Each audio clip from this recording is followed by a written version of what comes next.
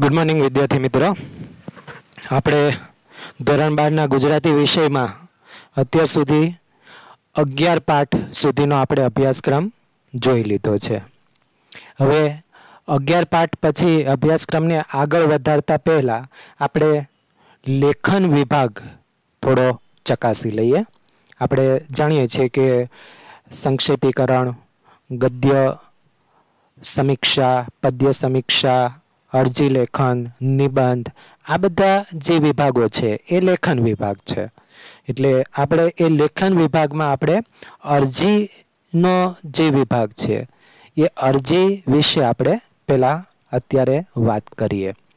તો અરજી આપણે જાણીએ છીએ કે પત્ર લેખન જેમ હોય એમ અરજી લેખન આવે.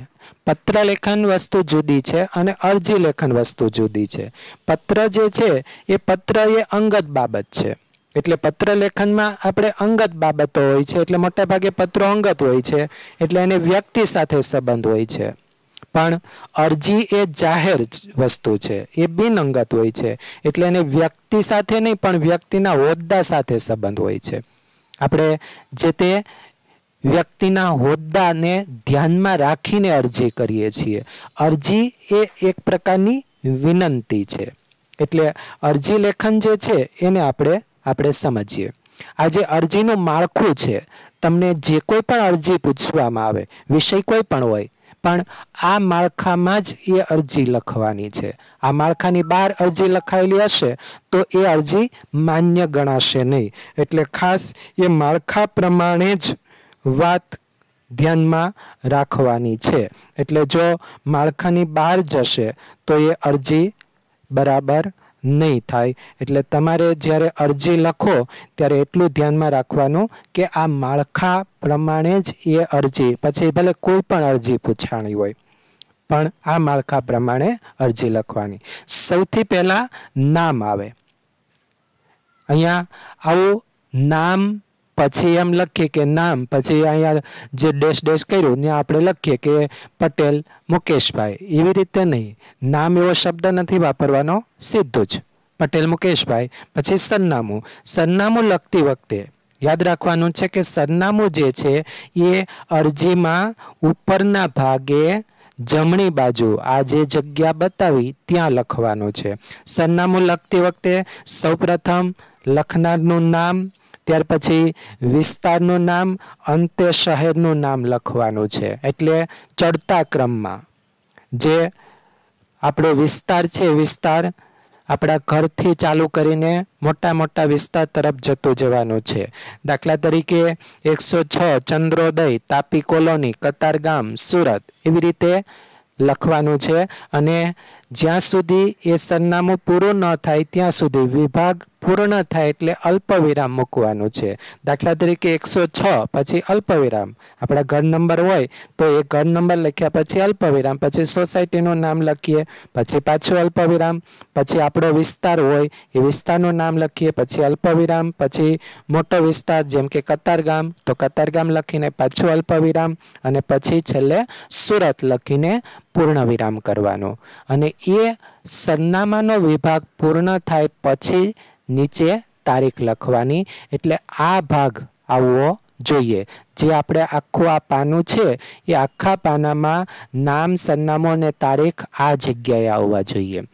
એ પૂર્ણ થાય એટલે પછી આવશે સંબોધન. સંબોધનમાં હંમેશા બધી જગ્યાએ પ્રતિશ્રી એમ કરીને પછી આ જે બે લાઈનો લખી છે, એ બે લાઈનોમાં જેને આપણે અરજી કરી રહ્યા છીએ, એનું હોદ્દો લખવાનો છે, એનું નામ નહીં. ધ્યાન રાખજો, હોદ્દો. માનો કે આપણે સ્કૂલમાં અરજી કરી રહ્યા હોય, તો અહીંયા આચાર્યશ્રી લખવાનું છે અને પછી એની નીચે લખવાનું છે, માનો કે શારદા વિદ્યા ભવન, કતારગામ, સુરત. તો આવી રીતે લખવાનું છે. આપણે એટલું યાદ રાખવાનું કે અહીંયા આચાર્ય શ્રી શ્રી શારદા વિદ્યા મંદિર, કતારગામ સુરત. સુરત હંમેશા નીચેની લાઈનમાં કતારગામ પછી નવી લાઈનમાં જ લખવાનું. છેલ્લે આપણે જ્યારે સિટીનું નામ લખીએ, ત્યારે એ છેલ્લી નવી લાઈન બને તો એ ત્રીજી લાઈન ભલે થતી, તો ત્રીજી લાઈન પણ કરવાની. પણ ધ્યાનમાં રાખીએ, પ્રતિશ્રી કરીને પછી પેરેગ્રાફ આપવાનો છે. આટલી જગ્યા જે મૂકી છે, એ જગ્યા. એ પેરેગ્રાફ આપીને પછી લખવાનો છે, જે તે હોદ્દો. આપણે જેને અરજી કરી રહ્યા છીએ, એ વ્યક્તિનો હોદ્દો. એ નિયામક શ્રી હોય, આરોગ્ય મંત્રી શ્રી હોય, કોર્પોરેટર શ્રી હોય, મેયર શ્રી હોય, કોઈ પણ, જેને આપણે અરજી કરી રહ્યા છીએ, એનો હોદ્દો, ત્યાર પછી વિસ્તાર અને શહેર. એમ આપણે અહીંયા બંનેની આગળ પેરેગ્રાફ મૂકીને પછી જ આ વિગત લખવાની છે.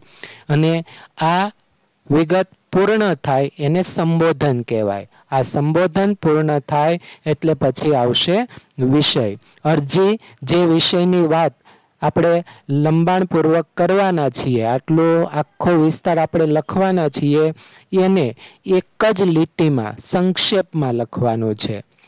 આપણે અરજીના નમૂના જોઈશું, એટલે વિષય કેવી રીતે લખાય એ અહીંયા ટૂંકમાં લખવાનો છે. નોંધવા અંગે, અરજી કરવા અંગે કે બાબત એવો છેલ્લો શબ્દ અંગે કે બાબત એવો છેલ્લો શબ્દ વિષયમાં આવે. ત્યાર પછી વિષય પૂર્ણ થાય એટલે તરત જ આવશે વર્ણ વિષય. વિષયમાં દર્શાવેલ બાબતને વિસ્તારપૂર્વક આ વિભાગમાં સમજાવવાની હોય. હવે આ વિભાગની શરૂઆતમાં એટલે કે અહીંયા લખ્યું એમ, આદરણીય શ્રી અથવા શ્રીમાન, શ્રીમતી, સાહેબ શ્રી, માનનીય શ્રી, આદર, આદરણીય શ્રી, મહેરબાન સાહેબ શ્રી આવા સંબોધનો કરી શકાય. તમે ખાલી આદરણીય શ્રી એક જ રાખો તો પણ વાંધો નથી. આદરણીય શ્રી એ પણ પેરેગ્રાફ મૂકીને શબ્દ લખવાનો છે આદરણીય શ્રી. આદરણીય શ્રી પછી નવી લાઈનમાં પેરેગ્રાફ પાડીને આપણે જે વિષય ઉપર અરજી કરવાના છીએ એ વિષયને અહીંયા લંબાણપૂર્વક તમારે વર્ણવવાનો છે, લખવાનો છે કે કયા વિષયમાં અરજી કરવી છે, એનું જે કંઈ પણ આપણે વર્ણન કરવાનું છે એ વર્ણનનો આ આખો વિભાગ છે. ત્યાં તમે જેટલું લંબાણપૂર્વક વર્ણન કરવાનું હોય, એ આટલા ભાગમાં તમે કરી શકો. શક્ય હોય તો માનો કે એક જ પેરેગ્રાફને બદલે બે અલગ અલગ પેરેગ્રાફ પાડી શકો. જો વિષય લાંબો હોય, અગત્યનો વિષય હોય તો એક પેરેગ્રાફ, બે પેરેગ્રાફ, ત્રણ પેરેગ્રાફ એમ પેરેગ્રાફમાં વિભાજિત કરી દેવાનું. નાનો પેરેગ્રાફ હોય તો એક પેરેગ્રાફમાં રાખો, એ બરાબર છે. પણ થોડું લંબાણ થાય તો બને ત્યાં સુધી બે પેરેગ્રાફ કે ત્રણ પેરેગ્રાફ આ વિભાગમાં લેવાના. આટલું પૂર્ણ થયા પછી છેલ્લે અંત આવે. અંતમાં હંમેશા અરજી કરનારની શી અપેક્ષા છે તેનો ઉલ્લેખ કરી વિનય વાક્યો દ્વારા સમાપન કરવાનું છે. છેલ્લે શી અપેક્ષા છે એ છેલ્લા વાક્યમાં લખી શકાય. અહીંયા આપણે લખ્યું સહકારની અપેક્ષા સહ એ વિનય વાક્યો કહેવાય. આ સહકારની અપેક્ષા સહ એ પણ છેલ્લે નવી લાઈનમાં પેરેગ્રાફ પાડીને લખવાનું છે.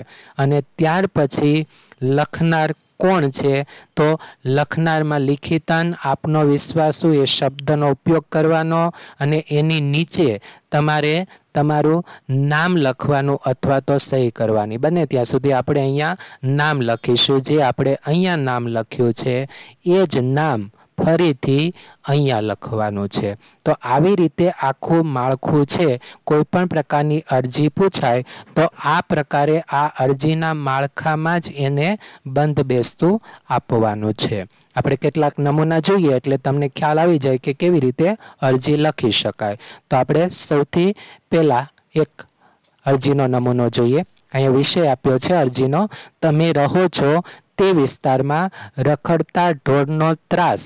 આ બાબતની ફરિયાદ કરતી અરજી નગરપાલિકાના ચીફ ઓફિસરને લખો. તો અહીંયા કોને અરજી લખવાની છે? કયા વિષયની બાબતમાં અરજી લખવાની છે એ સ્પષ્ટ પ્રશ્નમાં આવી જ ગયું. હવે લખનાર કોણ છે? તો અહીંયા યાદ રાખજો કે આપણે તો પ્રશ્નપત્રમાં લખીએ છીએ એટલે આપણું પોતાનું નામ નહીં લખવાનું, ભળતું કોઈ પણ નામ લખી દેવાનું. અહીંયા નામ લખ્યું છે એ પ્રમાણે રવિભાઈ પરમાર, બાવીસ વૃંદાવન સોસાયટી, અમરેલી અથવા તો કતારગામ, સુરત. તારીખ તારીખ હંમેશા આપણે જ્યારે પણ પરીક્ષા આપવા બેઠા હોઈએ, તે દિવસની તારીખ લખવાને બદલે થોડા બે પાંચ દિવસ જૂની તારીખ લખવાનું, રાખવાનું બને ત્યાં સુધી. અને ત્યાર પછી આપણે જોયું માળખામાં એમ પ્રતિશ્રી, પછી હોદ્દો કોને આપણે અરજી કરવાની છે? તો ચીફ ઓફિસરને, તો અહીંયા ચીફ ઓફિસર શ્રી અથવા તો શ્રી ચીફ ઓફિસર સાહેબ, નગરપાલિકા નગરપાલિકાના ચીફ ઓફિસરને એટલે નગરપાલિકા સુરત. સુરત લઈએ તો ધ્યાનમાં રાખવાનું કે મહાનગરપાલિકા શબ્દ વાપરવાનો. નાનું હોય તો એ નગરપાલિકા છે, આપણે સુરત છે તો મહાનગરપાલિકા અમદાવાદ, મહાનગરપાલિકા સુરત એમ લખી શકાય. અને ત્યાર પછી વિષય. તો વિષય આપણને આપ્યો છે, રખડતા ઢોરનો ત્રાસ. તો અહીં લખી શકાય રસ્તા પર રખડતા ઢોરના ત્રાસ બાબતે આ થયો વિષય. વિષય પછી સંબોધનના શબ્દો આદરણીય શ્રી માળખામાં જોયું એ પ્રમાણે આદરણીય શ્રી કરીને પછી તમે તમારી રજૂઆત આ વિષય ઉપર બધી કરી શકો કે અમને આ બાબતમાં કેટલી તકલીફ પડી રહી છે એ બધું તમે આ અરજીમાં લખી શકો. તો અમો વૃંદાવન સોસાયટીના રહીશો, આપણે કોઈ પણ અહીંયા નામ લખી શકીએ કે અમે અમો કતારગામ વિસ્તારના નાગરિકો, આપ સાહેબને એક માનસર અરજ સાથે જણાવીએ છીએ કે ખૂબ જ વિનંતી સાથે જણાવીએ છીએ કે આવા શબ્દો વાપરી શકાય કે અમારી સોસાયટીની અથવા તો અમારા વિસ્તારની આજુબાજુ અને જાહેર રસ્તા પર રખડતા ઢોરનો દિન પ્રતિદિન વધારો થતો જાય છે. રસ્તે ચાલતા રાહદારીઓને આ સમસ્યા ખૂબ જ નડે છે. આ ઢોર જાહેર રસ્તા પર બેસી જાય છે અને પોતાનો પગદંડો જમાવી લે છે, જેને કારણે રસ્તા પર વાહન લઈ નીકળનારા વ્યક્તિ ગમે તેટલા હોર્ન વગાડે છતાં ઢોર વાહન ચાલકોને મચક આપતા નથી, જેને કારણે ટ્રાફિકની સમસ્યા પણ સર્જાય છે. અકસ્માત થવાનો પણ ડર રહે છે. બાળકો અને વૃદ્ધોને ક્યારેક આ ઢોર મારીને પછાડી દે છે. કેટલાક વ્યક્તિઓને આના આવા અનુભવો પણ થયા છે. ઘણા બધા વ્યક્તિઓને આને કારણે ઈજા પણ થઈ છે. સાંજના સમયે એક બાજુ રસ્તા પર ટ્રાફિકની સમસ્યા ઊભી થાય છે, તો બીજી બાજુ રખડતા ઢોર પણ જગ્યા રોકે છે. માટે ત્યાંથી પસાર થવામાં રાહદારીઓને ખૂબ જ મુશ્કેલી પડી રહી છે. તો આપ સાહેબને જણાવવાનું કે કોઈ મોટા, ભયંકર, અકસ્માત અથવા તો આકસ્મિક ઈજાઓ ન પહોંચાડે તે પહેલાં, કોઈ પણ ગંભીર બનાવ ન બને એ પહેલાં આ રખડતા ઢોરનો સત્વરે નિકાલ કરવા આપ ઘટતી કાર્યવાહી કરશો. સહકારની અપેક્ષા સહ લિખિતન આપનો વિશ્વાસુ. અહીંયા જે લખ્યું હતું નામ, રતિભાઈ પરમાર. એ જ અહીંયા નામ લખી શકાય. અમરેલી અથવા સુરત એવું લખવાની જરૂર નથી. ખાલી નામ લખી લો એટલે પૂરતું છે. તો આ એક અરજી થઈ ગઈ. બીજો વિષય જોઈએ. તમારા ગામથી દસેક કિલોમીટર દૂર આવેલા રંગ રસાયણના કારખાનાનું દૂષિત પ્રવાહી નદીના જળમાં ભળે છે. તેથી નદીનું જળ પીવાલાયક રહ્યું નથી. આ અંગે યોગ્ય કાર્યવાહી કરવા રાજ્યના આરોગ્ય મંત્રીને અરજી કરો. યાદ રાખજો, આરોગ્ય મંત્રીને અરજી કરવાની છે. તો કોણ લખનાર છે? નામ કોઈ પણ મૂકી શકો આપણે. કૃણાલ પટેલ. નામ પછી સરનામું. કોઈ પણ સરનામું અહીંયા લખી શકો અને તારીખ પ્રતિ આરોગ્ય મંત્રી શ્રી, કેમ કે આપણે કોને અરજી કરવાની છે આરોગ્ય મંત્રીને એટલે પ્રતિ આરોગ્ય મંત્રી શ્રી ગુજરાત રાજ્ય ગાંધીનગર. કેમ કે આ બધા જ મંત્રીઓની જે ઓફિસો હોય છે, ગાંધીનગર હોય છે, એટલે આપણે ગુજરાત રાજ્ય ગાંધીનગર મંત્રી આવે એટલે હંમેશા લખવાનું હોય. અને વિષય આપ્યો છે રંગ રસાયણના કારખાનાના, કારખાનાનું પ્રવાહી નદીના જળમાં ભળે છે તે બાબત. તો આવી રીતે વિષય મૂકી શકાય અથવા તો નદીનું પાણી પ્રદૂષિત થઈ રહ્યું છે તે બાબત. આવી રીતે વિષય મૂકવાનો. પછી આદરણીય શ્રી, અમારું જેસર ગામથી આશરે, અમારા જેસર ગામથી આશરે દસેક કિલોમીટર દૂર અથવા તો અમારા કતારગામ વિસ્તારથી આશરે પાંચેક કિલોમીટર દૂર. એક કારખાનું આવેલું છે. રંગ રસાયણને બદલે કોઈ પણ બીજું આપણે હોય તો એ વિષય પ્રમાણે તો કારખાનું આવેલું છે. અથવા તો માનો કે આપણી નજીક કોઈ ઉકરડો છે અથવા તો કચરા પેટી છે, એને કારણે આપણને મુશ્કેલી પડી રહી છે. તો આપણે એ લખી શકાય કે અમારા વિસ્તારની બાજુમાં કચરા પેટી મુકાયેલી છે. ત્યાં ખૂબ જ ગંદકી હોય છે. એના વિશે લખી શકાય. અહીંયા રંગ રસાયણ માટે છે. તો જેની અંદરથી બગાડયુક્ત કેમિકલવાળો પ્રવાહી કચરો. આ કારખાનાની નજીકથી પસાર થતી નદીમાં ભળે છે. કારખાનાવાળા એ દૂષિત પ્રવાહીના નિકાલની યોગ્ય વ્યવસ્થા કરતા નથી. અમારા ગામના અસંખ્ય લોકો આ નદીના જળનો પીવાના પાણી તરીકે ઉપયોગ કરે છે અને પશુ પક્ષીઓ પણ આ પાણીનો ઉપયોગ કરે છે. પણ દૂષિત કેમિકલવાળું પાણી આ નદીમાં ભળવાથી લોકોને ચામડીના અસંખ્ય પ્રકારના રોગ થાય છે. કેટલાક માણસોની ચામડીમાં સખત બળતરા પણ થાય છે. ઝાડા ઉલટીના પણ ઘણા બધા લોકો ભોગ બન્યા છે. પશુઓને પણ કેટલીક બીમારીઓ જોવા મળે છે. આજુબાજુની વનસ્પતિ અને ખેત પેદાશોની સંપત્તિ અથવા તો ખેતરો છે. એ ખેતરો પણ દૂષિત થતા જાય છે. વધારે પ્રમાણમાં રોગ વકરે નહીં, માટે આપને આ અરજીથી ધ્યાન દોરીએ છીએ. આ ગામના સર્વ નાગરિકો આશા રાખીએ છીએ કે આ અંગે ત્વરિત ઘટતી કાર્યવાહી કરશો. પછી સહકારની અપેક્ષા સહ લિખિત આપનો વિશ્વાસુ એક્સ વાય ઝેડ, જે નામ હોય તે નામ મૂકી દેવાનું છે. પછીનો એક અરજીનો નમૂનો જોઈ લો. તમારા ગ્રામમાં પ્રાથમિક આરોગ્ય કેન્દ્રની ખાસ જરૂર છે. તો જિલ્લા આરોગ્ય અધિકારી શ્રીને અરજી કરો. તો અહીંયા જિલ્લા આરોગ્ય અધિકારી શ્રી એ વ્યક્તિને આપણે, એ હોદ્દાને આપણે અરજી કરી રહ્યા છીએ. તો નામ, સરનામું અને તારીખ એ તો આપણે લખવાના છે. પ્રતિશ્રી જિલ્લા આરોગ્ય અધિકારી શ્રી, જિલ્લાનું નામ માનો કે જિલ્લા આરોગ્ય અધિકારી શ્રી ભાવનગર અહીંયા રાજકોટ, અમરેલી, જસદણ, કોઈ પણ જે જિલ્લા આરોગ્ય અધિકારીને આપણે અરજી કરવાની હોય એ આપણે કરી શકીએ.